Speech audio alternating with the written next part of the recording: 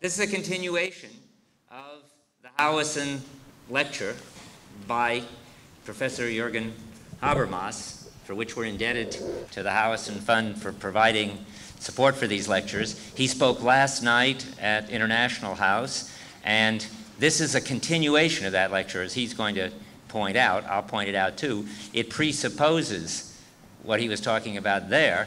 Uh, he'll talk for approximately an hour, is that right? And then there will be a discussion, which could be the, a follow up discussion on both of the lectures. The title of the lecture this afternoon is Morality, Law, and Politics.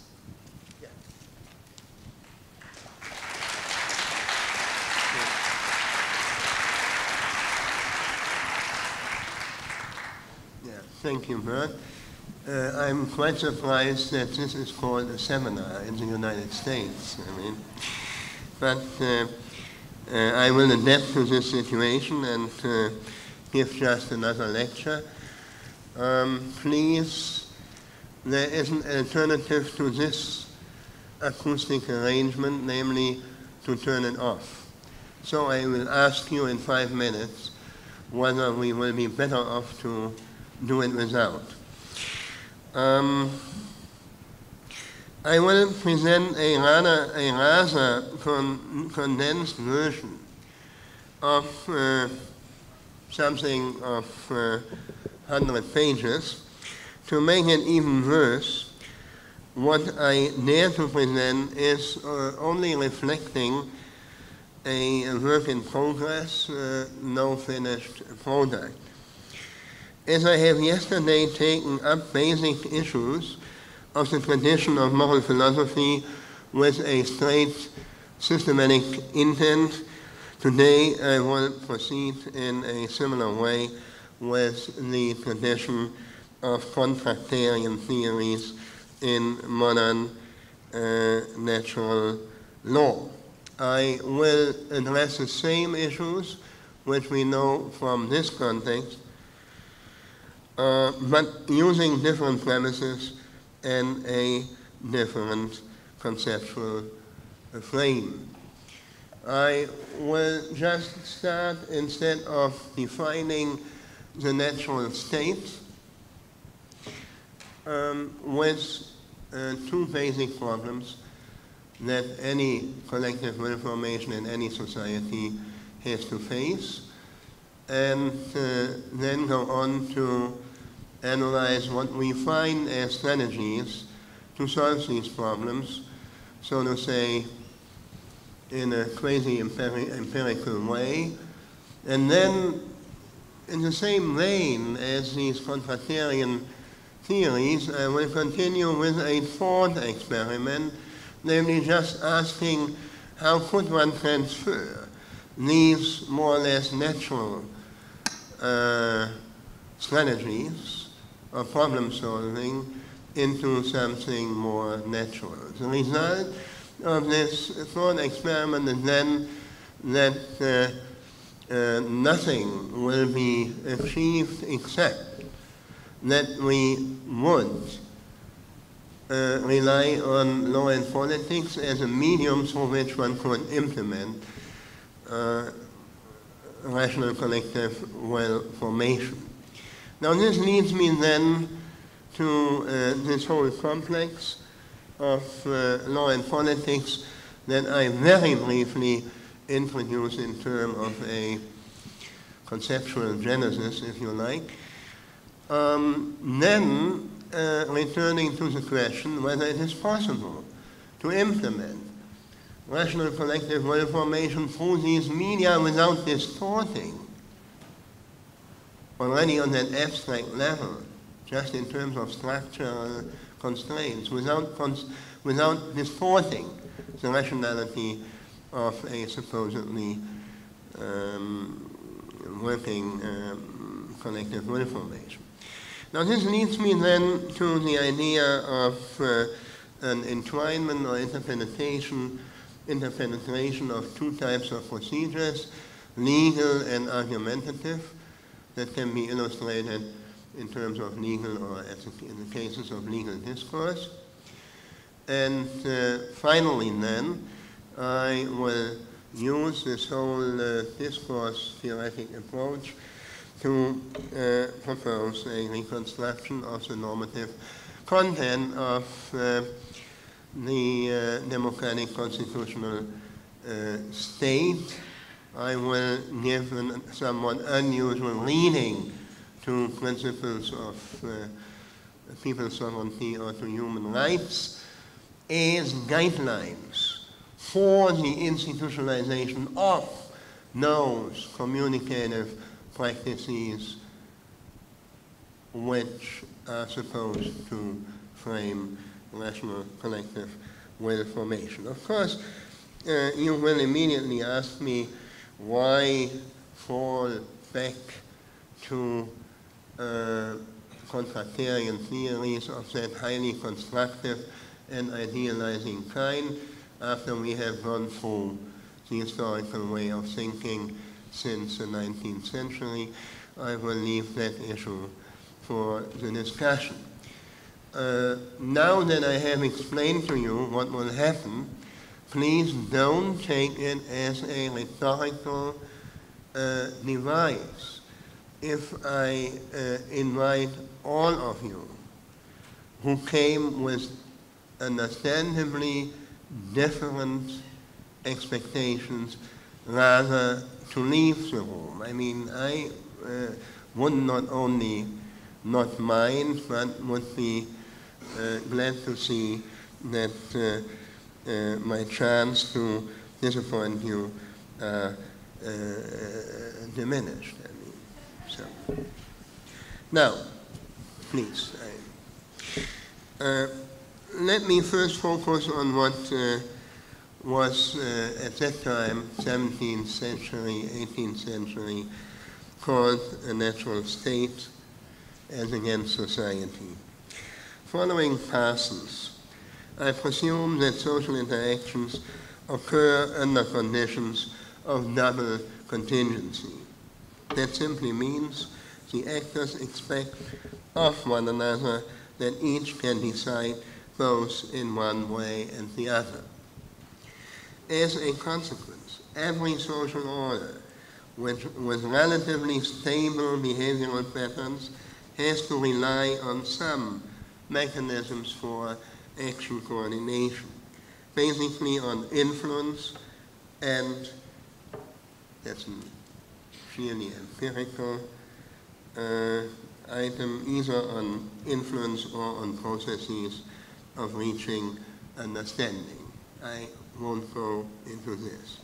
If such coordination is not forthcoming, more or less anomic sequences of action arises, and what is more important, the participants themselves then experience such uncertainties as a problem.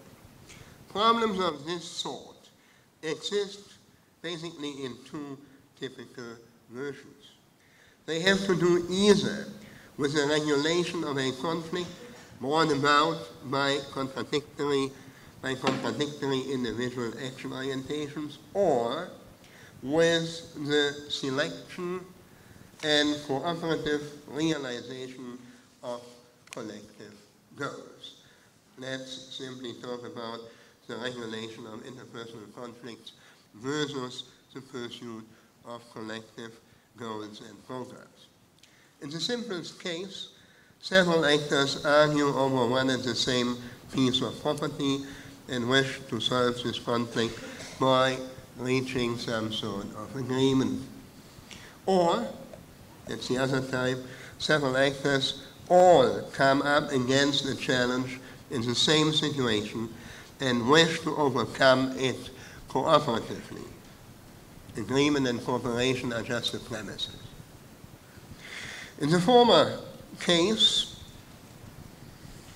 the participants face the question according to which rules should we live together, and in the latter case, the question is that of which goals do we want to reach and how do we want to achieve them.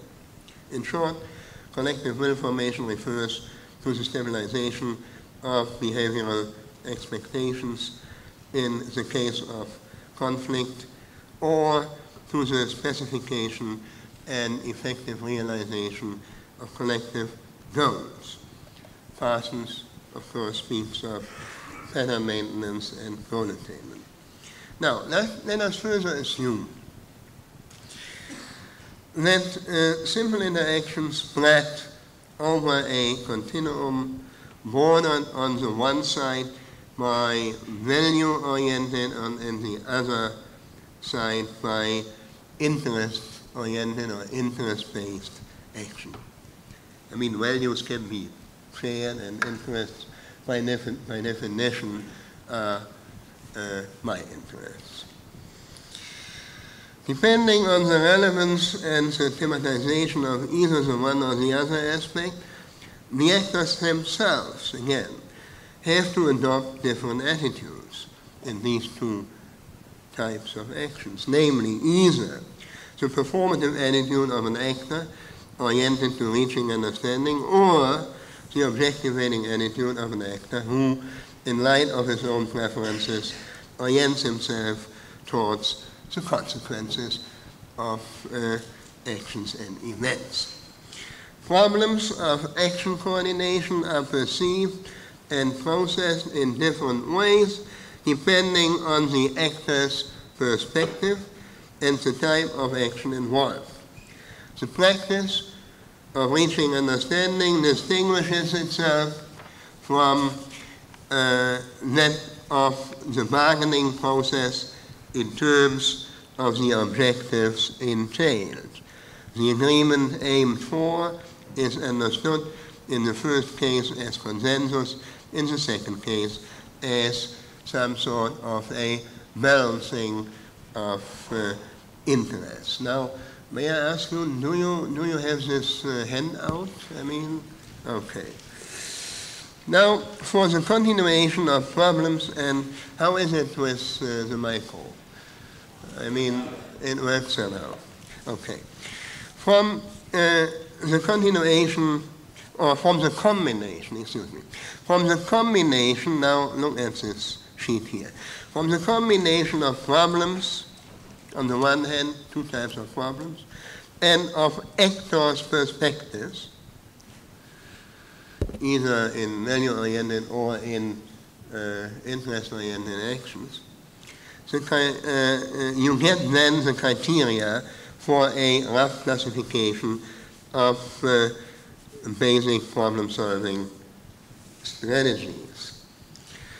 the two conflict regulation, the two, two conflict regulating strategies in the left column up can be described under the headings of consensus and arbitration. Given conditions of value-oriented action, there is a prospect that a conflict can be resolved by the parties on the basis of shared values.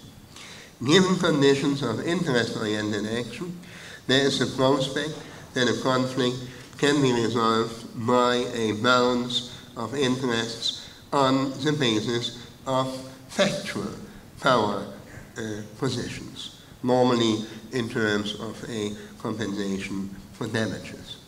The two strategies for goal setting can be brought under the heading of authority and uh, compromise. This is the second uh, column. Either individual persons or families enjoy sufficient prestige to give an authoritative interpretation of shared values and beliefs, or the parties to the quarrel arrive at a tolerable compromise, again depending on their actual power. Now, one could, and we can come back to that in the discussion, one could illustrate these four strategies by anthropological uh, evidence for uh, institutions, for uh, different types of uh, yeah, problem solving of that interactional kind. However, none of these problem solving strategies so far neutralize power relations. All of them rather lead to results which either directly or in a less visible way depend on the contingent power positions involved, including, of course, such power constellations as are expressed in prestige differentials or even lie concealed behind value, shared value beliefs. If we now follow the train of contractarian thought, a switch over to um, rational collective uh, will formation will be not surprising. I mean, the, the whole setup of those contractarian theories had been idealizing constructions. Now, we, can, we cannot do it uh, in the same way today, but we can just uh, mm, uh, declare this switch as a thought experiment. I mean, this is something trivial. Now, such a switch over now to rational collective uh, will formation would imply that these problem-solving strategies which we find, so to in natural uh, state, in fact, in kinship-based societies, um, that these strategies can be freed from their enchainment to such power-ridden contexts. A thought experiment that I cannot carry out here in detail would allow us to point a clean, to paint a clear picture of rational collective will formation. You can look uh, at the line, uh, at the bottom line. On the one hand, moral discourses of justification and application would permit an impartial regulation of interpersonal conflicts that is free from ideologies and factual power impositions. And on the other side, pragmatic discourses, along with compromises and with the ethical clarification of collective identities, would yield to a discursive form of goal setting, no longer prejudiced and disturbed by constellations of prestige and power. If I now use uh, terms like moral and ethical and pragmatic, just associate what you got from yesterday evening. And yet, in a certain sense, such a thought experiment would remain fruitless, even granted the counterfactual assumption that both the practices of consensus formation and of bargaining were raised to the level of rational standards. The rational problem solving strategies would leave the coordination problem unresolved in a non trivial sense. These are in your uh, The Unsolved uh, problems in the bottom line. Um,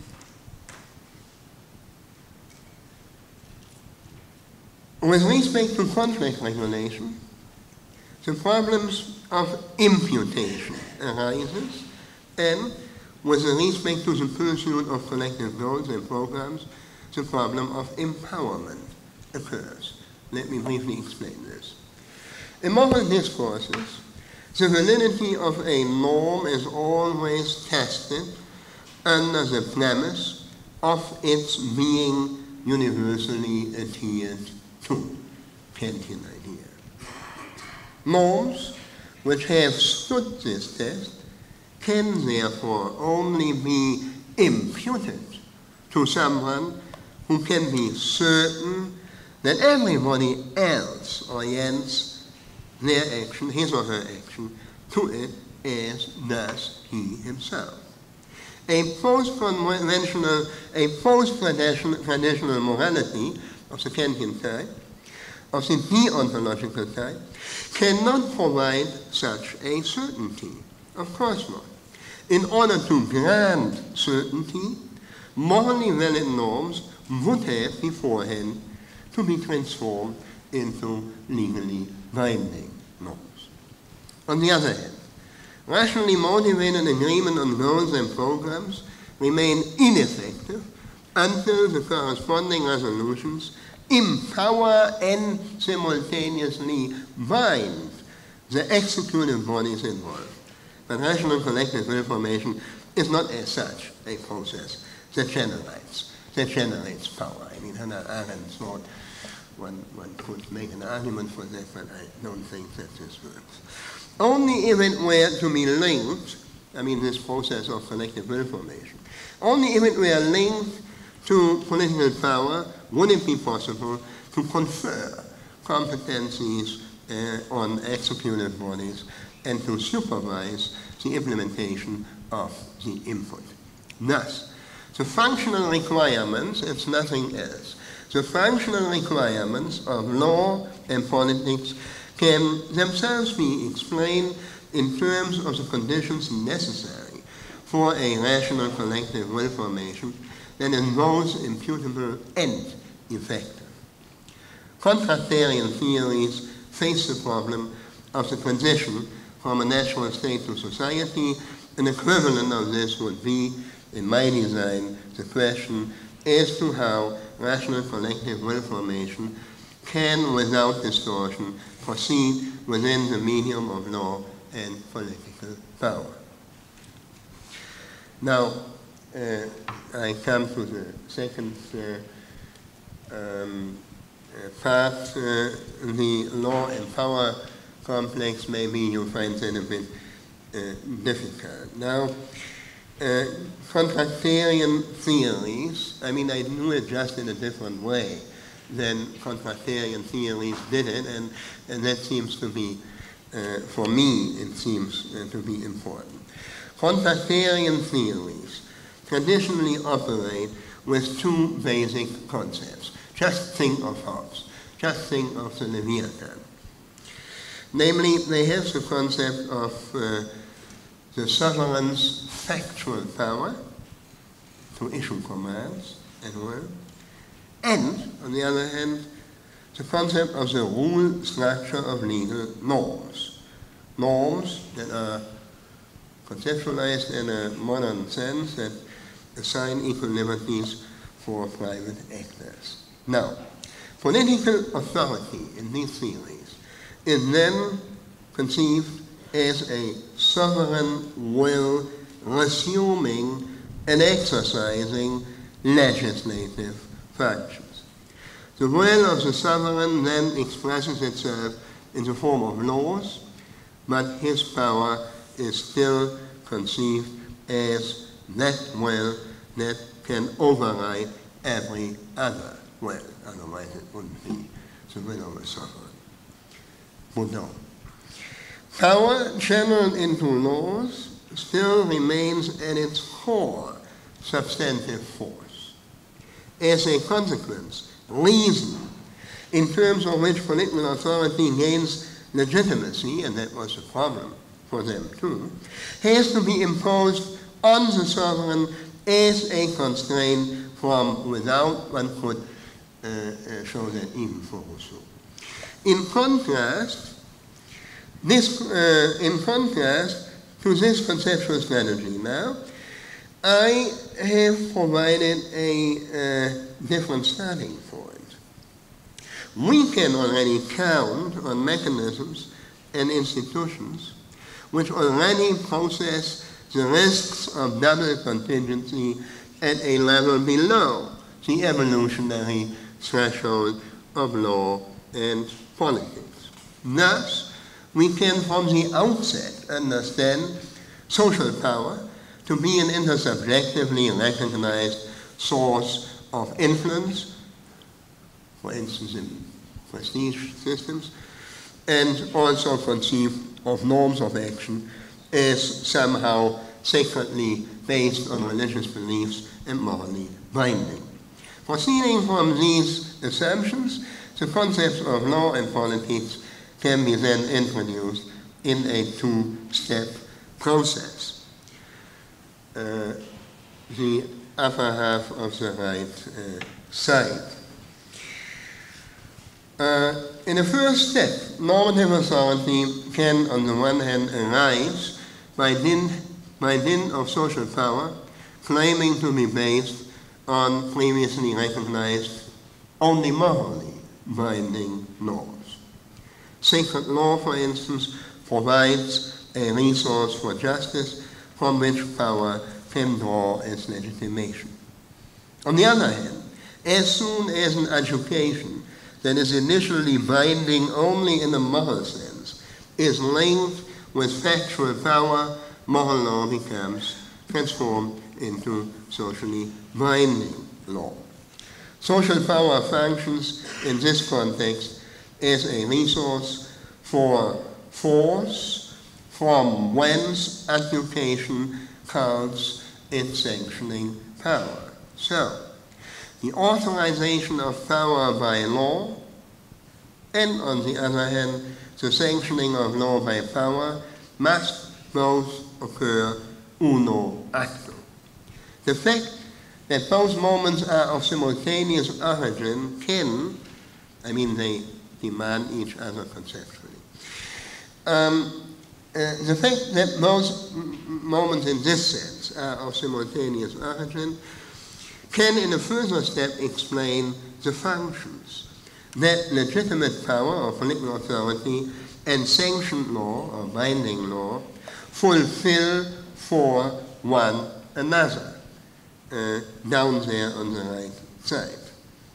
It is only on the second level that power and law both mutually constitute themselves as codes, each of which takes on a function of its own, a societal function of its own. Law serves, once it lends political domination a legal form, to constitute a binary code of power. That simply means whoever disposes over power can issue commands to others. Whoever submits to such power has to obey.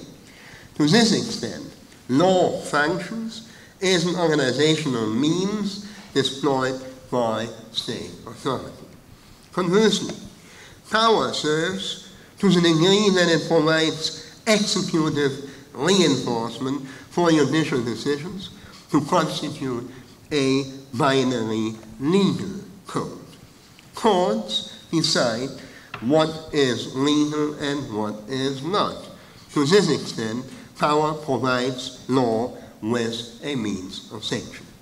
Now, it is these code specific functions of uh, providing collectively binding decisions or a certain stabilization of behavioral expectations that explain why our thought experiment on rational collective will formation suggests that recourse be made to law in politics. The problem posed by whether someone can be reasonably expected to abide by morally justified norm can be solved with the aid of the legal code. And on the other hand, the problem of empowerment and how executive bodies can be placed under control can be solved with the power code. Of course, this does not yet answer the question of why such a conceptual experiment should be undertaken in the first place at all. Let us take a brief historical look back to the period when the uh, state system in uh, the modern state system in uh, uh, uh early Europe uh, took shape. In modernity, early modernity, with the decline of religious worldviews and the decline of the meta-social guarantees which these religious worldviews provided, law and politics combined to form, so to say, a circular process. Seen from a purely functionalist perspective, law then is entirely absorbed, both by the contribution it makes to the power code to constitute it, and, on the other hand, by fulfilling the code function of its own. Pattern making Viewed in this manner, the circular uh, process involving positive law and secularized power should be somehow able to rely on its own operations to stabilize itself. Now, in fact, empirically, this is not the case. Rather, the validity of positive law becomes paradoxical and a gap in legitimation opens up if we only describe this whole uh, complex of law and politics as an infrastructure of modern political systems and legal systems in functionalist terms. How can, which are the problems? How can law that has since become positive law and can arbitrarily change meet with normative recognition on the side of its adversaries and serve even more so as a legitimizing basis for political power despite its random changeability. That's one question. The paradoxical validity base of positive law. Legal positivism again and again failed to explain this problematic condition, or rather denied its existence. I think that the problematic situation. Can be explained by the fact that the constitutive conditions for the complex of law and politics are or would be violated as soon as the law placed at the arbitrary disposition of some political legislator ceases or would cease to serve simultaneously as a source for justice. You see, I, I have uh, explained, so to say, this conceptual genetic story about it. And you see that some type of law has to go into the constitution, into the constitution of binding law. And uh, if uh, uh, the positivization of law uh, uh, succeeds to such an extent that this resource is sort of say blocked uh, only then uh, the uh, uh, paradox of validity comes up, shows up. Now, just as political power must rely on the concentration of coercive means as a latent resource of force, so too law must remain in evidence also as a resource for justice. It is for this reason that the gap in legitimation opens up in that circular process which moves back and forth between instrumental power and instrumentalized law. It is this gap that contractarian theories had hoped to close with their taking recourse to practical reason. I mean, that was just the historical condition under which uh, this type of theory uh, uh, could make sense. And I think, I think that the conditions which are of interest for us didn't change since. So the problem remains, only the solutions are outmoded. Kant draw a plausible conclusion from the fact that the complex of law and politics, robbed of its sacred foundation, had been shaken. So he assumed that questions of justice underwent differentiation into moral and legal questions, and that law and politics rose remain somehow intertwined with morality uh, all the same. So this is an anti-positivist position, of course. But Kant gave moral law the form of a rigid set of rules and principles superordinated to positive law. So even if it were be, to be possible to ground such principles of natural law in terms of practical reason, they would either be too selective or not informative enough to meet the growing regulatory requirements of an increasingly complex and highly mobile, mobile society. I mean, natural uh, uh, law uh, concepts, even if they are justified on a post-conventional uh, level uh, with deontological means, uh, are just too, are just under complex. If even under these modern conditions, still the connection of practical reason to law and politics is not to be cut off at all, we must now view morality to be something that uh, uh, uh, we, we must not view morality to be something that is somehow uh, above law.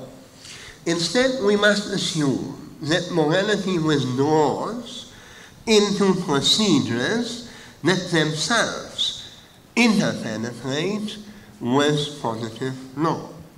In the following, I refer uh, to my paper that I gave yesterday. This Discourse ethics deprives practical reason of all specific, substantive, normative contents and sublimates them into the form of a procedure for justifying possible normative contents. Furthermore, practical reason does not guide moral judgments only, it might well take its purest shape in procedural morality, but is by no means exhausted therein. In the first place, discourses of justification, the equivalent to the Kantian categorical imperative, have to rely on their supplementation by discourses of application because the idea of impartiality is only fully realized in the assessment of concrete uh, cases. Moreover, both types of discourse, justification and application, are interwoven with pragmatic discourses as well as with bargaining processes and ethical political discourses. I come back to that. Now, the legal institutionalization of this whole web of overlapping forms of communication means that legal processes and argumentative procedures interpenetrate and, and this is the important, mutually control each other. That's the basic idea which I'm going to illustrate. The legal process constrains the dynamics of negotiations and argumentations and distributes, for instance, the burden of proof, but it may not interview, intervene in the argumentational infrastructure. That is, in the interior of a discursive will formation which obeys an intrinsic logic of its own. Just as practical reason, so to say, outwits its weaknesses by encoding the results of moral reasoning in legal terms, so too established law conversely outfits itself by means of the non-anticipated results of a logic of argumentation that has been legally licensed and enforced. Now let me, in the third step here, talk a minute about that interpenetration. Legal procedures regulate, for example, the access to and the role allocation in courts or in parliaments. They shape the type and course of negotiation and argumentation by, let's say, defining objectives, selecting issues and contributions, channeling decisions, and so on and so on. The means of positive law are used in a recursive manner in order to institutionalize discourses and negotiations that both produce and apply law. In so doing, two types of procedures and two types of procedural rationality intertwine. The results of legally institutionalized practices of negotiation and argumentation count as valid or as rational, precisely if they came about in conformity with the prescribed procedures. In this context, however, the conditions of pure procedural rationality, of course, cannot be fulfilled. Juridical as well as argumentative procedures presumably promote correct results, but they cannot guarantee that this is the case for obvious reasons. The idealized pragmatic presuppositions of argumentation in general can in any case only approximately be fulfilled and still allow for the possibility that justified beliefs accepted as valid for the time being be revised in the light of better argument tomorrow. And this fallibility holds true even more so for juridical procedures, which place modes of argumentation under the local, the social, and the temporal constraint of decision-making processes. Furthermore, in the case of argumentative procedures, there is no criterion for rule conformity that is not itself dependent on argumentation. Whether the demanding, the demanding communicative presuppositions have been sufficiently met in a given case can only be judged from within the perspective of participants. Juridical uh, procedures, however, can compensate for this very weakness by guaranteeing punctual, unambiguous, and binding results. In this case, whether or not legal procedural norms have been conformed to, in fact, can be checked from the viewpoint of an observer. So, the socially binding character borrowed from the legal code of result that has been achieved, achieved conforming to the prescribed procedures of argumentation substitutes the guarantee of pure procedural rationality. In general, to sum up, this is a bit complicated, the legal institutionalization of rational collective will formation functions, if it functions at all, in such a manner that the discourses and their incomplete procedural rationality have, as Rawls puts it, a quasi pure procedural justice grafted onto them. The logic of argumentation is thus not immobilized, but rather, let me say, disciplined and employed so as to produce reasonable and at the same time legally valid decisions and resolutions. Juridical discourses are a good example of uh, the intertwining of uh, these two uh, procedural times. I uh, will not go into this here. I mean, everybody who has uh, read, for instance, Dworkin, but there are other equally convincing um, books and articles on this issue, uh, Alexy, Aarnio, Günther, uh, to take only uh, a few, will uh, realize that in hard cases, if you refer to legal discourses, in hard cases, uh, in spite of the finding of the whole procedure to the established law, to the law of the land, uh, this uh, law does not uh, define a closed uh, universe of discourse, but in hard cases, uh, you uh, uh, can get onto uh, a argumentational uh, not, so to say, where uh, you are rationally motivated to include uh, moral and policy uh, arguments. So uh, see here beautifully which consequences uh, this intertwinement of legal procedures and logics of discourse, let me say, uh, have.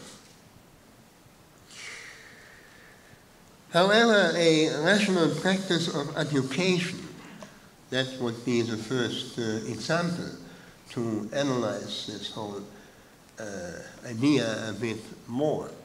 However, a rational practice, a would-be rational practice of education, uh, represents, even under idealized conditions, only the first stage in the procedural self-legitimation of law.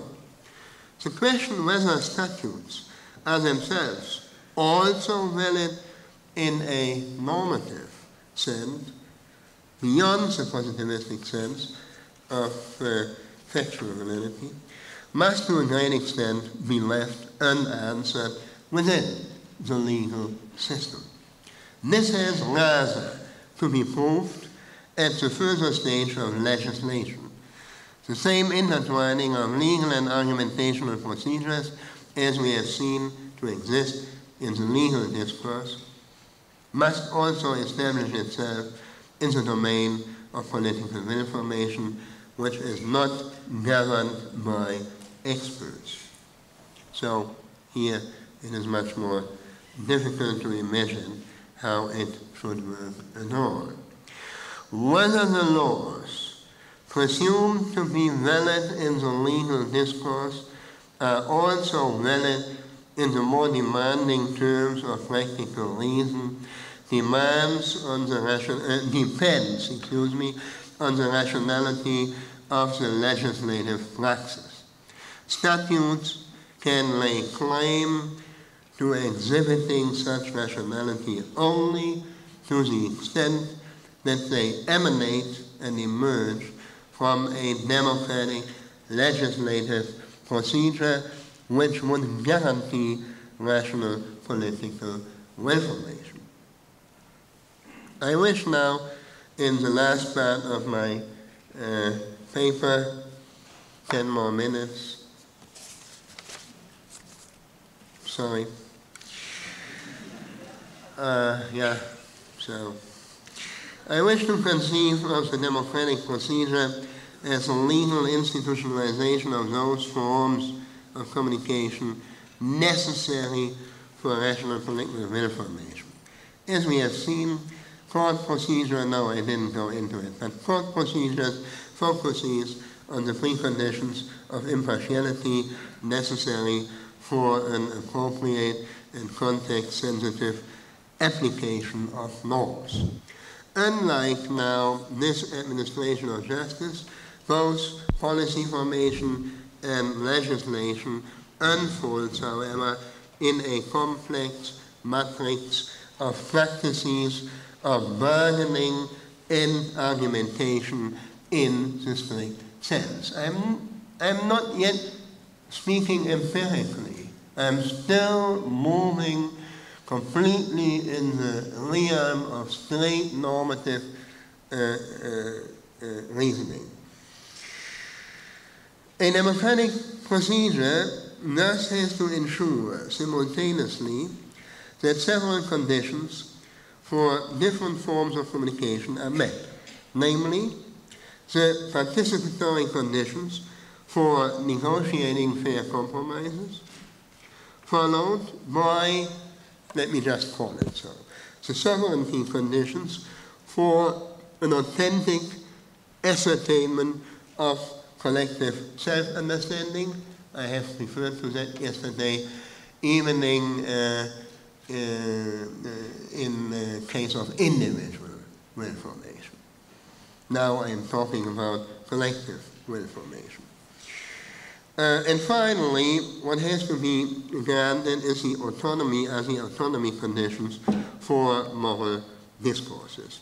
I shall here disregard conditions for adequate information uh, processing and restrict myself to those aspects of bargaining, of ethical political self-understanding, and of moral justification. You see the same categories from yesterday that are relevant for the rational character of del- deliberation on policies and laws. If we proceed beyond the question of what we can do with regard to the feasibility of programs, then rational political will formation must clarify three questions. First, the pragmatic question of how we can harmonize competing preferences. Secondly, the ethical political question of who we are and seriously want to be, as well as, finally, the moral practical question of how we should, uh, we should act, we are allowed to act. An aggregated will can result from fair bargaining processes in which different interests are weighed up against each other. An authentic common will can evolve from hermeneutic discourses of self-understanding, think of Bellah and uh, other approaches, and an autonomous general will can be formed in moral discourses of justification and application. Now, as far as they are not taken care for in the legal system. Arguments take on different roles in such negotiations and discourses, and there are corresponding forms of communication in which the different types of discourse unfold. All of these forms of communication interpenetrate within the domain of what I call rational collective uh, will formation with regard to policies and laws, I mean legislation. The evidence uh,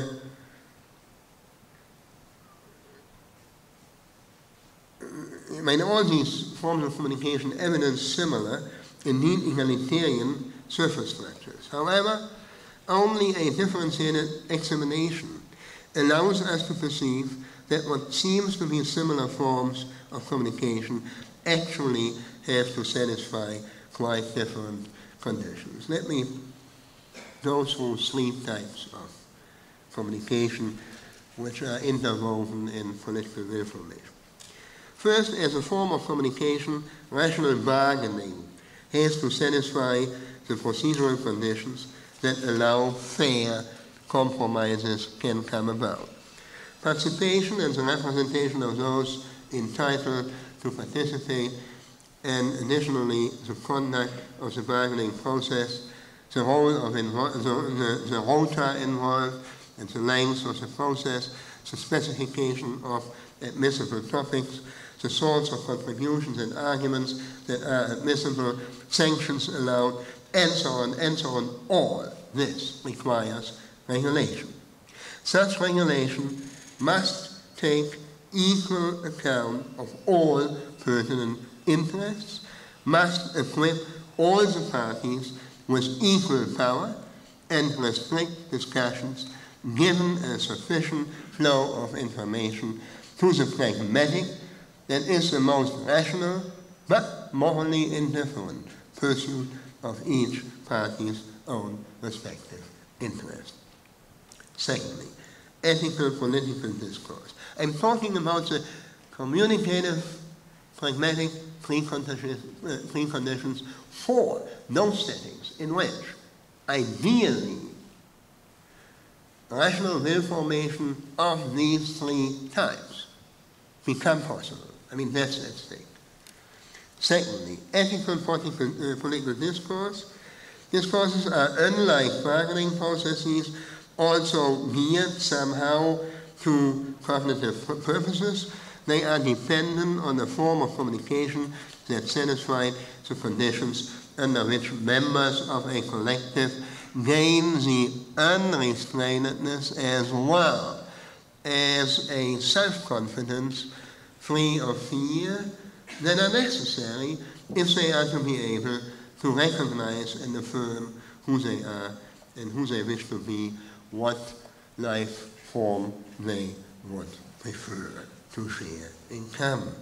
Finally, moral discourses are tailored exclusively to cognitive purposes. They require a form of communication that allows only the rationally motivated force of the better argument to uh, persist. Participants are supposed to judge norms and policies solely from a viewpoint that gives equal consideration to the interests of all concerned and to accept justified proposals as binding. Resolutions are, as a consequence, only reached autonomously if they are motivated by insights into what one should do and not just one party should do. This particular artificial form of communication meets universal discourse, which, which substantially fulfills cognitive functions, is, of course, the most sensitive to all interests and dependencies that intervene in the internal workings of argumentation. Now, in the light of the forms of communication of these three types, it is now possible, and with this I will finish, it is now possible to undertake uh, a uh, maybe a somehow strange interpretation of the people's of the principle of people's sovereignty and the human rights. That is, of the normative substance of the democratic constitutional state, whereby these two components can be understood as now the demand that those exacting forms of communication be legally institutionalized. I mean, I understand the well-known principles of our constitutional stage as saying you should, under given conditions, as much as possible, legally institutionalize those demanding uh, pragmatic presuppositions for a communication uh, process which enables these communication processes to emerge as fair bargaining processes, uh, enlightening uh, processes of authentic self-understanding and moral discourse. Now, first, free, equal, and secret elections are geared to the participatory conditions ensuring fair bargaining. The equal participation of all requires that the selection of uh, representatives be indeed as representative as possible, a selection that is intended then, I mean ideally of course, to guarantee that all interests and value orientations are brought to bear with equal stress. It's a power relation in the decision-making process.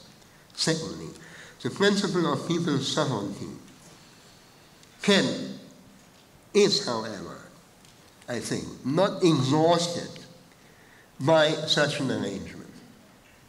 By such an arrangement which allows the citizens to express themselves through the voice of their representatives in view of their own interests. This is a uh, important and maybe the most important, at least the most visible part of it, but not the whole of it.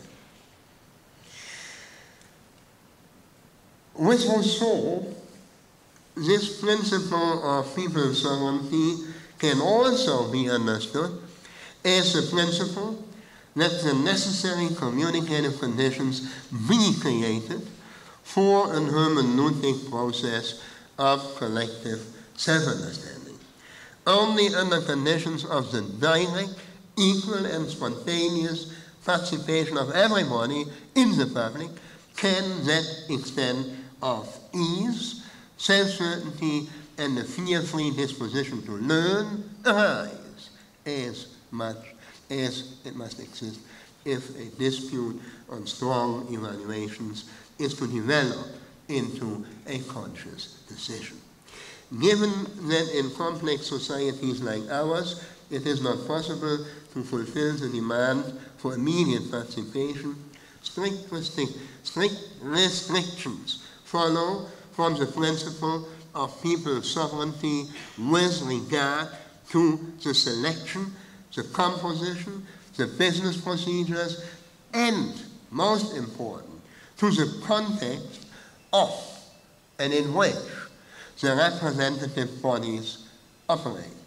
A discourse by representatives satisfies conditions for the equal participation at least indirectly to the extent that it remains open and sensitive and permeable to a public opinion arising from the grassroots of a more or less informed, pluralist, and spontaneous uh, public uh, sphere, which is pluralistically organized.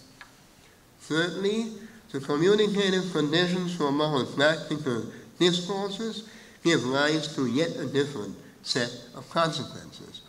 In this instance, the form of communication must satisfy conditions of autonomy, let me call it that way, under which each participant can expand his or her own perspective by drawing on the interpretive perspectives of all the other parties involved.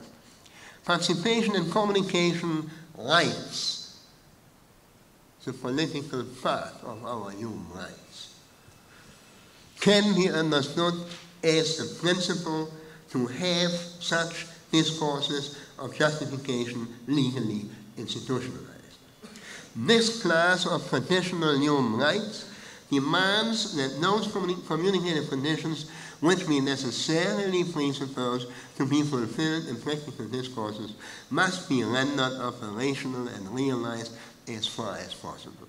In effect, such conditions largely match the, uh, I mean, in effect, such conditions largely match the demands that derived from the principle of people's sovereignty. They have, however, a different meaning, namely that of providing the opportunities for discourses in which the participants can judge policies and norms from the moral point of view. And that is something different from the ethical point of view. Unlike in ethical political discourses, the set of potential participants here in moral discourses is not limited to one's own collective.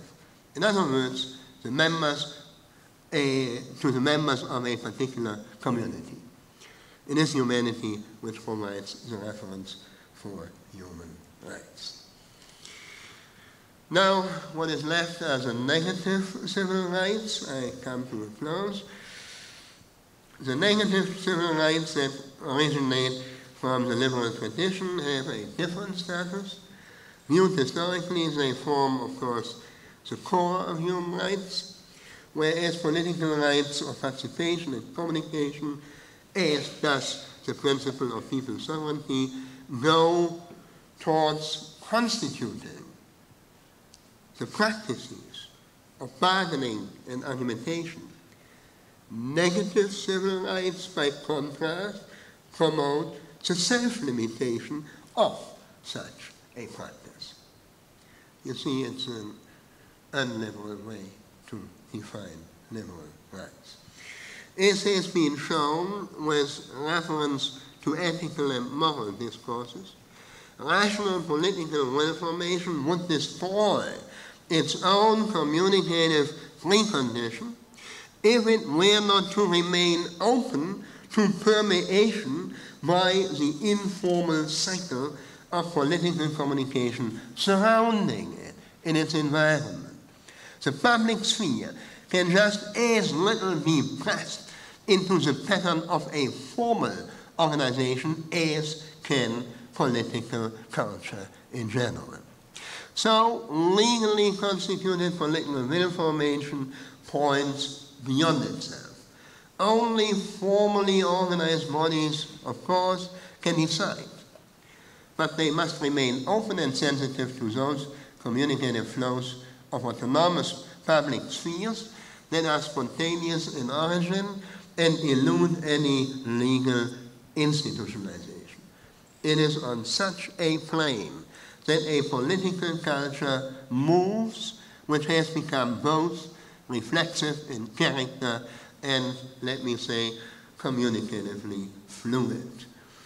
Institutionalized political will information, will formation would destroy the basis for its own rational functioning if it were to pluck the sources of spontaneity inherent in an antecedent public sphere.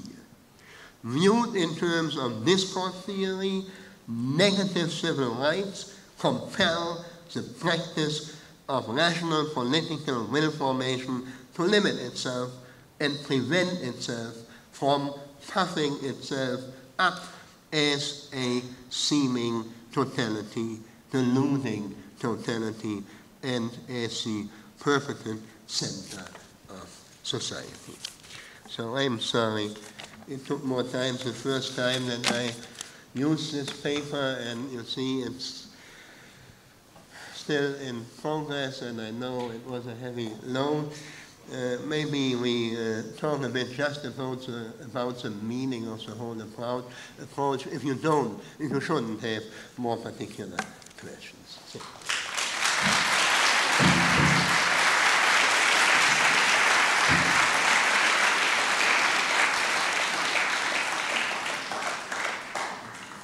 Okay, Professor Pose, can you, okay, try to, yeah.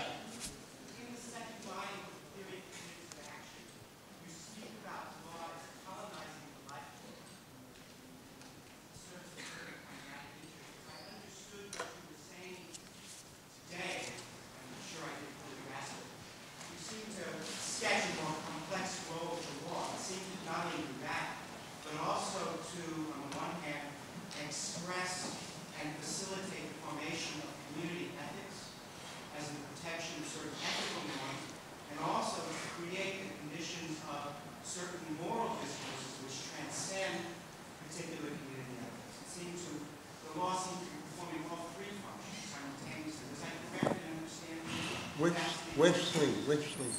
One is uh, coordinating actions in the service of certain pragmatic interests.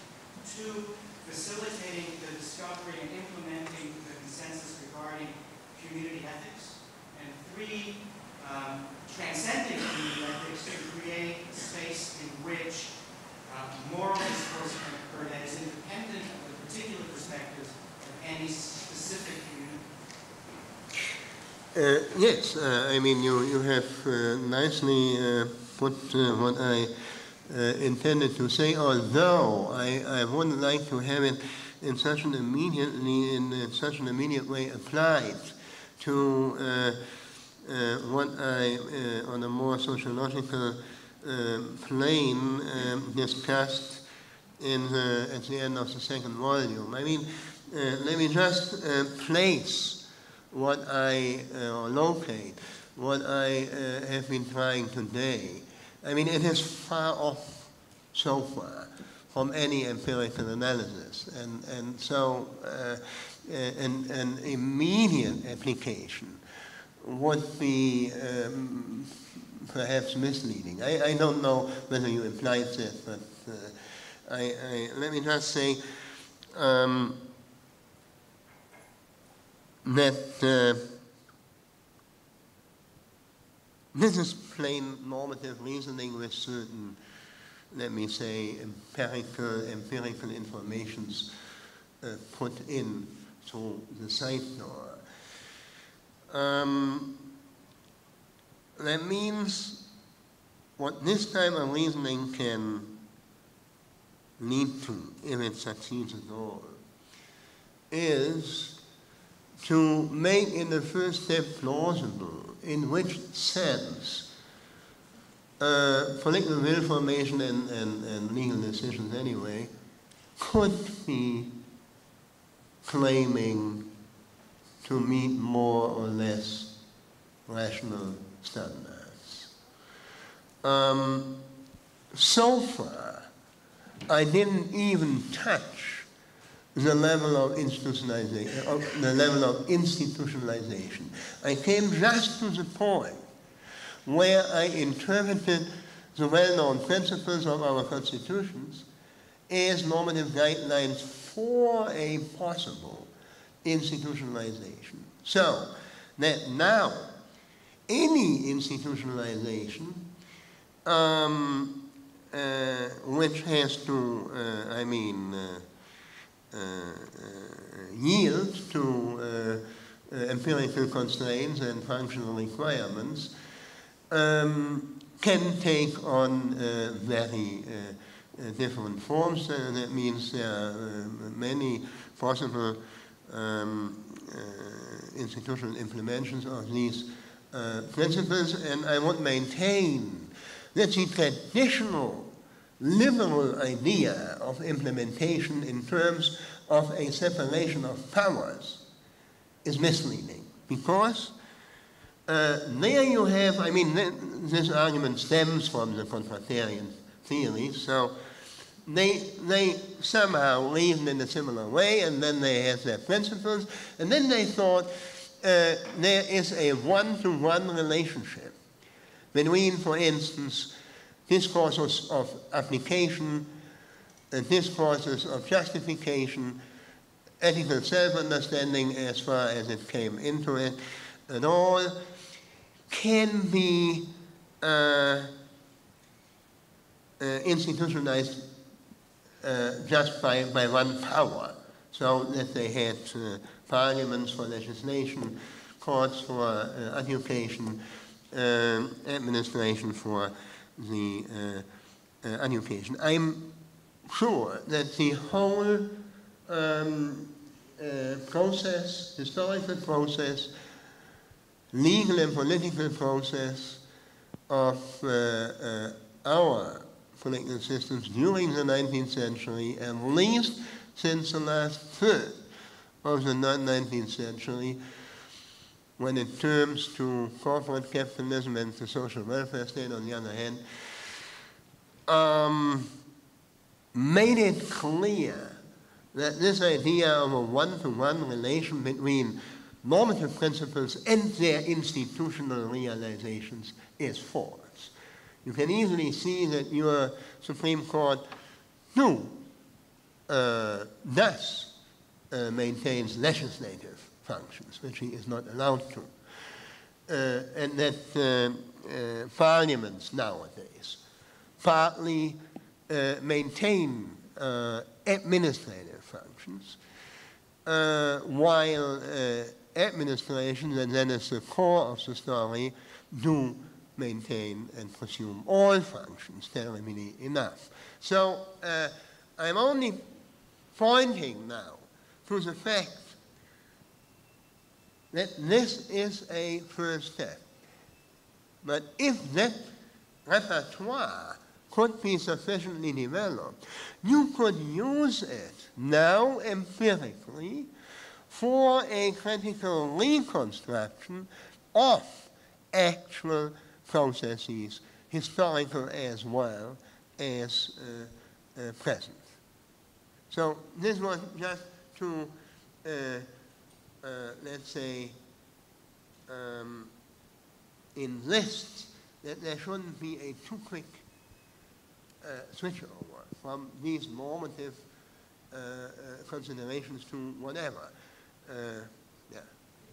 for a second. Yeah, yeah. Without taking you the additional step to institutionalization, uh, and staying on the theoretical level of your presentation, do you have any thoughts on whether a theoretical answer can be given as to which of these three functions of should take precedence in what conditions, since they can and will conflict at various times. Namely, the conditions for pragmatic action coordination will be inconsistent with facilitating, for example, the discourse of morality.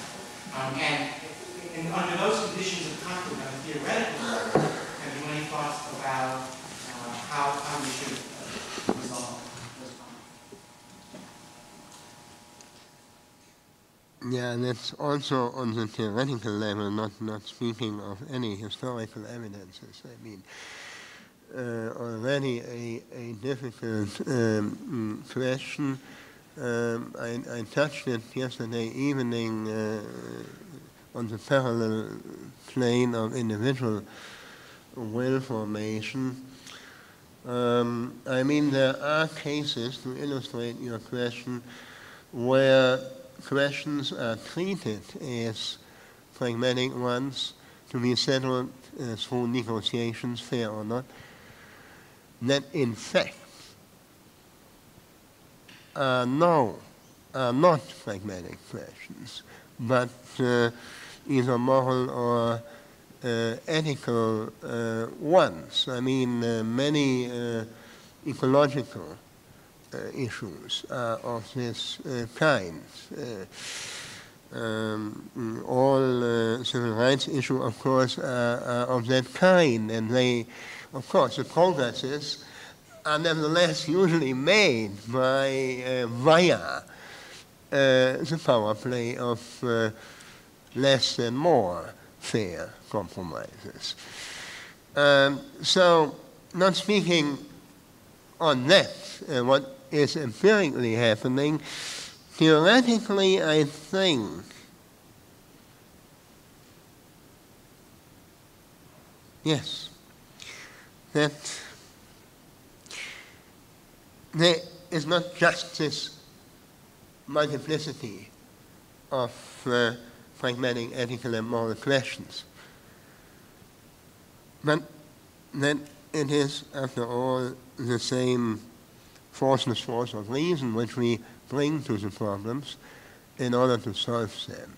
So it is by no means accidental that arguments always enter the scene, even in very different role, and even in negotiations.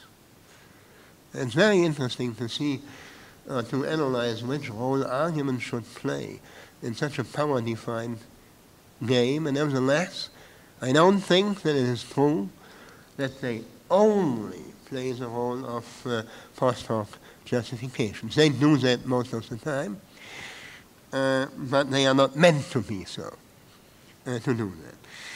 And because uh, it is the same kind of reason, practical reason, that we bring to bear on our practical problems in all these fields, I do think that to the extent that we would succeed to implement practical reason in a highly differentiated way into uh, our institutional uh, uh, uh workings of uh, collective will formation, that to this extent it would turn out where to locate the selection mechanisms, which, so to say, uh, order types of questions as to their proper place, so that it is no longer up to individuals who debate about this, which is which problem. Uh, this is an intuition. I, I mean, I, I, I, had to give an, another lecture in order to explain this idea, but the intuition should be clear. That uh, I, I, do think that this uh, communicative approach is somehow designed to, to place uh, reasonable operations out there in the sphere of the objective mind, to speak with Hegel. That means uh, out there onto the institutional level and to put uh, questions which we face to be just questions to be solved in our minds singularly, uh, to place them on to a uh, cooperative level. Yeah, this is not a very satisfying answer, I know. Okay. Yeah, yeah, yeah. Next, yeah. Okay. First and then second, yeah. Please. Uh, you've said a tremendous amount about reason and its practical employment. And Kant also subsumed reason in its theoretical employment to a large degree under reason and its practical employment when it comes to dealing with the world. I wonder if you share Kant's view that reason its practical employment in a way uh, coordinates reason and its theoretical employment when it comes to human action. In other words, is reason and its theoretical employment means gaining knowledge, subsumed to a large measure within reason and its practical employment is used to find. I mean, you uh, start from a certain reading of Kant, as you well know, which is quite debated. I mean, this reading is inspired by Fichte and others, who uh, make the arguments that uh, theoretical reason is somehow part of the practical. And that was then the main line, at least leading to Marx, if not to Hegel. Uh, the question is what uh, stand I do uh, take on this. I, I, I think that the question uh, doesn't pose itself in the same way if you leave uh, the whole design of a philosophy of the subject. I mean, there you have faculties theoretical, practical, aesthetic. And then you ask for coordination. Uh, once you transpose these faculties to the very communicative enabling conditions for discourses which are designed to uh, have participants solve their problems, then, uh, I mean, you have the competition between types of discourses. And no longer, I mean, this focused uh, uh, question of who uh, uh, dominates who. And I would uh, think that uh, we have to leave uh, much uh, space for contingencies. And I do think that it depends on situations and problems, if not even cultural particularities, when which type of discourse will justifiably, not just in fact, go to lead the others. So I uh, have no answer to that fortiori.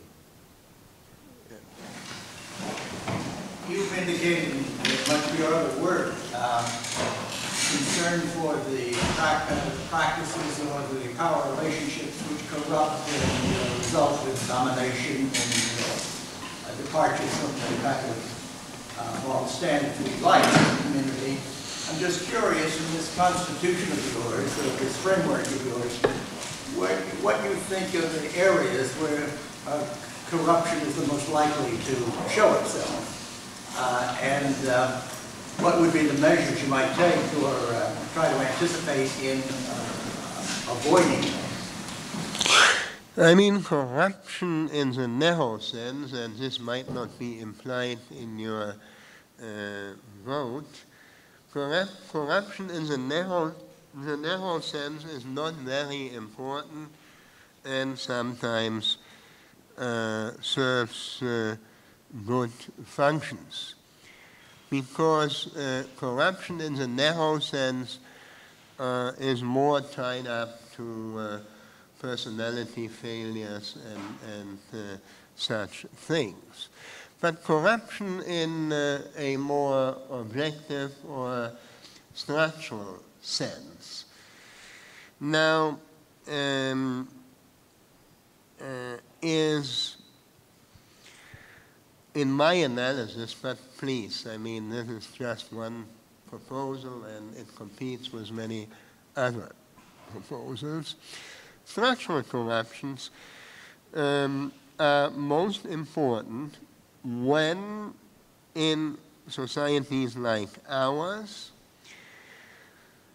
certain um, large scale necessary, non substitutable functions are fulfilled with means which are not uh, designed for uh, fulfilling just these functions. Now, this is an abstract formulation.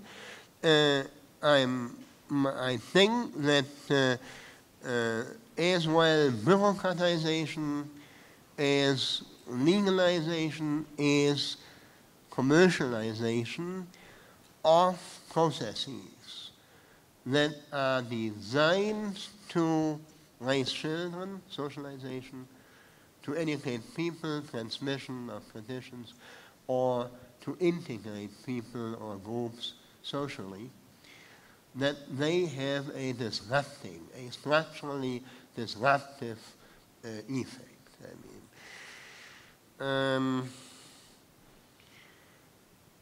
now, uh, uh, a second, um, in my view, I mean, I, I have written something on, on bureaucratization and commodification and legalization. I mean, that is, so to say, on the colonization of spheres of life which uh, should be communicatively uh, organized and uh, somehow integrated via intentional actions and not so much via uh, mechanisms like money and power. I mean, so this is one um, uh, part of my answer. Now the other part of my answer would be, and is more related to what I said uh, this afternoon, is that, uh, yeah, the public sphere, that's an old topic of mine, of course, that the pub public sphere is deformed. I mean, not just by dumb people, I mean, that we can stand. I mean, if functions are more or less, I mean, uh, uh, working, uh, we can uh, carry uh, even a lot of I mean, more or less uh, incapable, incapable persons. But um, what I am here uh, hinting at is more the structural deformation of the public sphere. Now, there is one point which I would like to stress once more. No. Uh, conventional political theory, also the normative one, uh, looks only to how institutions should be organized. Now, one of my consequences is that, for instance, the democratic procedure, procedure of political will formation in, in a normatively demanding way uh, can only be institutionalized in deliberating bodies, let's say parliaments, whatever bodies, on whatever level, if they remain responsive. Now, that had to be explained, of course. If they remain responsive to uh, the flows of communication, to the communication processes in their environment, which cannot be institutionalized. Now, what can they be? They are organized in a way of course. I mean, we have medias, we have uh, um, uh, papers, we have uh, publishing houses, we have, uh, uh, yeah, parties uh, in one of their minor functions, I mean, are part of organizations in the public sphere. But the problem is that the public spheres, we should uh, use the plural of it, that the public spheres um, are not designed for decision making, but only for opinion formation. So they are released from uh, those functions for which you need bodies, for which you need institutions. So they can develop into networks of informally organized flows of communications, which are even much more, I mean, uh, uh, uh, grassroots um, supported than any institutionalized, although more balanced form of uh, opinion formation. So, and if you think from a normative point of view uh, of this condition, then it is, of course. What is it, detrimental? What is it? Uh, yeah, uh, destructive. Uh, uh, when you see uh, how uh, what is really happening in, in the public spheres, uh, and if you see the degree of organization and even institutionalization in the formal sense of, uh, of uh, what should be left uh, on a low level of organization and of uh, uh, not being institutionalized. So these are two spheres where I do see uh, dangers, not only, but yeah, um, counter tendencies to what, uh, to those tendencies which, which one might detect in support of uh, what I have here normatively uh, explained. Yeah, yeah. Say something about what it is that plays the role of the public sphere once you make this move you suggested today uh, the level of mankind? Presumably with the legislature function. Yeah, yeah, it's a legitimation function, yeah. Yeah, I mean, we have these uh, nice uh, campaign studies in political science and sociology. We have uh, electoral sociological studies, and uh, there are uh, the issues uh, more clearly defined uh, which are at stake. We have media research, um, and since Lazarsfeld, I mean, it's uh, developed a bit into mass communication, not so much as one would like.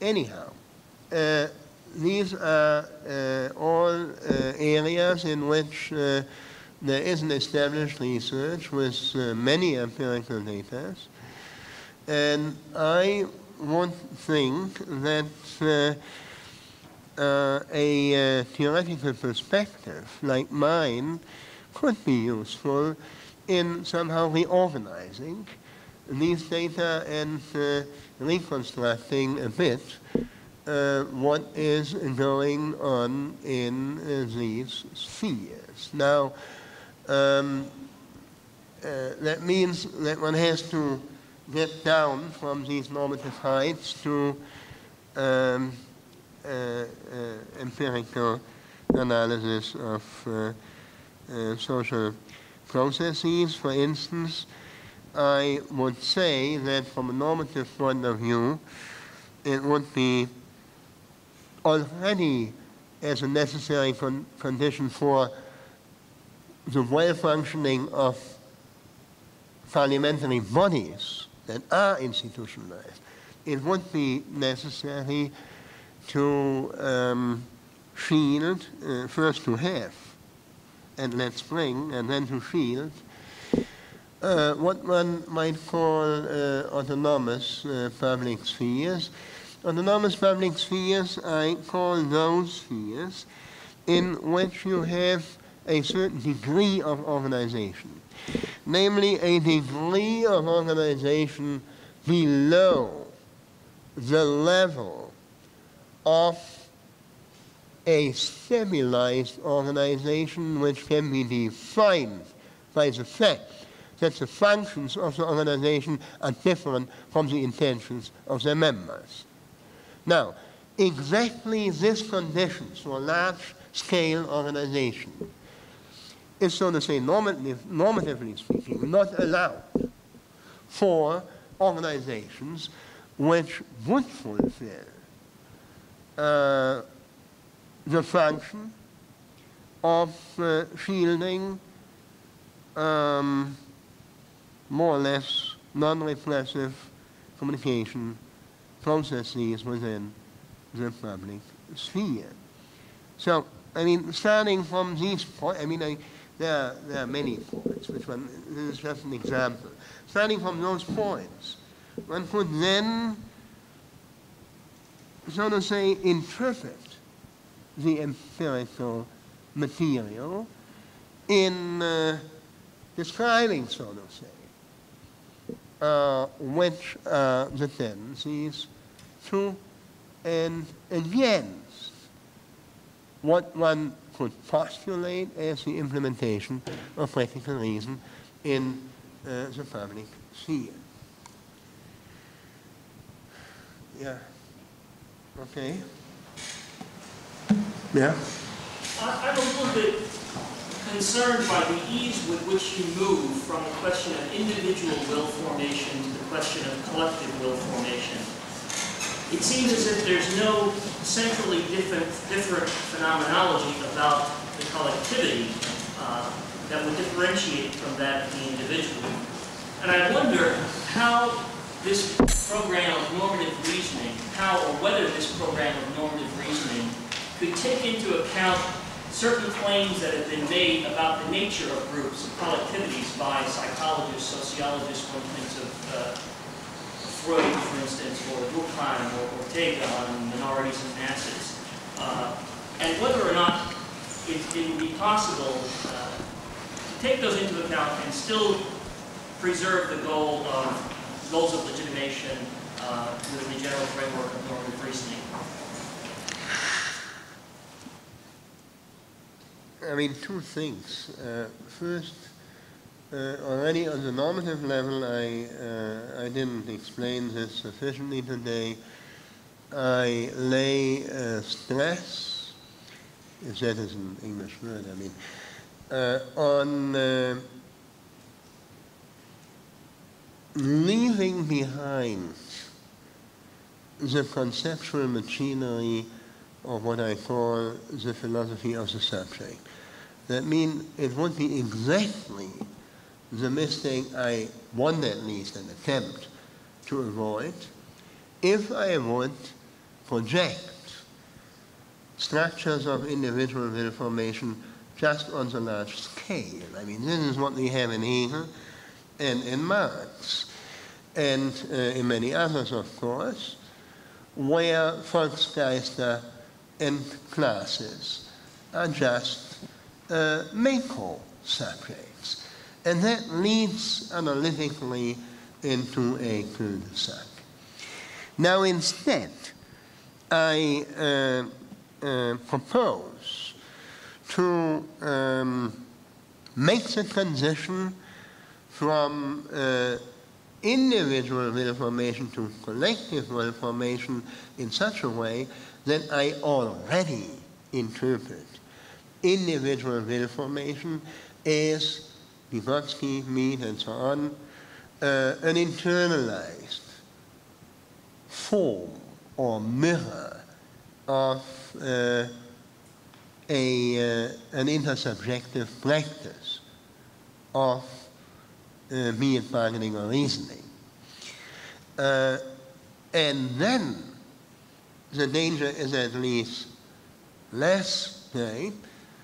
Uh, you can conceive from the very beginning um, collective will formation not as something attributed to an entity, but as something that is described in uh, structural terms, referring in the first place to uh, linguistic uh, features that are, or pragmatic presuppositions or whatever, which are from the very beginning shared or supposed to be shared by participants. So that, I mean, state, the state. I mean, in Germany we have this powerful, I mean, uh, da weiß man noch, was der Staat ist. I mean, it's, in, it's interesting that in the English-speaking world, well, you don't have this nice concept. I mean, the state.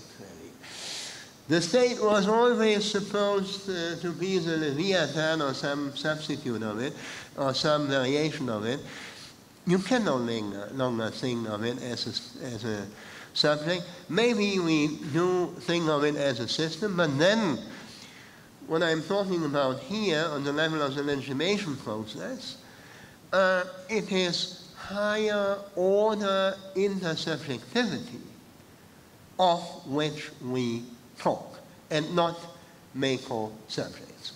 Now, secondly, uh, uh, this uh, channel, so to say, is a conceptual route uh, on which one can employ empirical knowledge such as so, of a social psychological, Freudian, Piagetian, or uh, otherwise kind. Yeah? I didn't take that, as- I, I introduce an empirical uh, objection there, or claim that that was that those, uh, those names were the, uh, were meant to indicate a series of empirical, possible empirical objections, but rather uh, claims for a different type of logic at work when we speak of groups. Yeah. No, that, that uh, should be, oh, you mean now the group dynamics studies and, and, and, and this, uh, I mean, maybe related things. I, I'm not sure what you are particularly thinking of. I think that uh, uh, this type of empirical research um, could and should be linked to uh, a more linguistically oriented analysis of communication processes. I mean. But I mean, that now is a different discussion. I mean. But I see the problem. I, I, I totally agree that this should be attempted. Yeah, yeah. Conflict or discourse with other societies, other methods, not play any role in, in theoretical process of collective movement? You mean Außenpolitik, foreign policy, to put it uh, as an example. Other collective besides this one leader? Uh, Other, other, uh, you mean uh, without the uh, without the at stake? I mean, be it a nation or be it a just uh, a neighborhood. Yeah, yeah, yeah. Interesting question because that was the original question of Hobbes, wasn't it? Yeah, yeah, yeah, yeah. I mean, it is a question of, uh, uh, you see, I'm slightly evading, uh, uh, of anthropological pessimists, I mean, just to put it in history of ideas. I mean, um, uh, you see, uh, if you are an anthropological pessimist, you uh, describe the boundary conditions. That means in the old con- con- constructions, the natural state, in those terms that uh, contingencies uh, and dangers are on a high level. That means risk-producing mechanisms are vivid. I mean, uh, homo homini lupus, while uh, Locke, I mean, and others, Rousseau, no, not Rousseau, I mean, uh, are uh, playing that down. Now, um, and, and if you stress foreign relations, you are on the side of uh, the pessimists, and if you start, you, you have the same game in history, those who speak of supremacy of interior policy versus the primacy of external policy. It's the same game. Anyhow, um, uh, let me put it uh, now uh, in, in a serious way. I mean, uh, I mean on my side in a serious way. Um, one could object to that whole approach, even if one grants the meaning of normative reasoning, which I only introduce because I am almost sick of uh, functionalists and contextualists' analysis of how courts work and how uh, parliaments work and so on and so on. And I do think that this whole approach is just less than half of the story. That's just for the empirical motivation. Anyhow, uh, even if one grants the meaning of uh, this normative approach, one can easily object, and I accept it, that of course action coordination is provided in fact more by uh, non-intentional than by intentional mechanisms. That means this, all of this, concentrates on the question how could participants intentionally solve these types of problems. And it's necessary, of course, if you want to implement practical or see uh, practical reason implemented. Anyhow, now, uh, there you have this objection. How is it with uh, systems mechanism like the market, I mean the, the, the first uh, candidate, uh, power codes, uh, uh, any institution has organizational devices that work unintentionally. And first, I would accept that. It is, of course, clear that uh, that set of problems is coped with, let me say, on both trails. Now, for foreign relationships, it is so that um, in case of conflicts of this type, um, you need even, this is an empirical argument, you need even more than for internal conflicts. Systematic, systematic non-intentional coordination mechanisms in spite of the appearance of diplomacy and, and all that. I mean. Now, uh, so I want in the first step I answer you, this is taken care for by other types of mechanisms. Now, then you can in the second step object and say, but if that is so, why start with that uh, type of business at all? And then I have to answer, uh, or can answer if I want to defend myself, uh, with an empirical argument. I do think that the growth in complexity in modern societies work in, works in both dimensions. It is at the same time that systems mechanisms like money and power in fact do absorb more and more of the variety uh, or the risks or however you want to describe it. But at the same time, to the same extent even, I would at least intuitively suggest, the level of reflexivity also raises, that means because of the um, de-differentiation of institutions of an older type, like church and army, uh, you have at the same time a growth in problems that are just brought upon the minds of both experts and the people.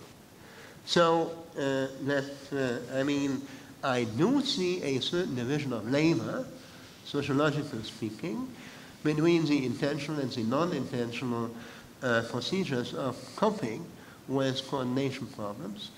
But uh, uh, the empirical plan I, I would argue for, I mean, with empirical indicators at least, shows us that both is equally uh, demanded, and so uh, uh, the pointing to external things and so on would fit somehow or would taken would, would be taken into consideration within this enlarged picture. You, you see, It's uh, four o'clock, and uh, we've had to ask uh, Professor Habermas a lot of questions, and I want to thank him very much for his talk and for his answers.